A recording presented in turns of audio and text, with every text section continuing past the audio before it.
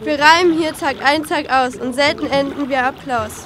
Doch gebt nicht auf und sagt euch, immer andere dichten noch viel schlimmer. Es war mal ein Spatz aus Hagen, der konnte es nur schwer ertragen, wenn ihn seine Kinder fragen, warum sie keine Schuhe tragen.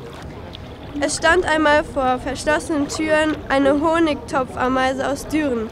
Sie hatte ihren Schlüssel vergessen, irgendwo zwischen Duisburg und Essen.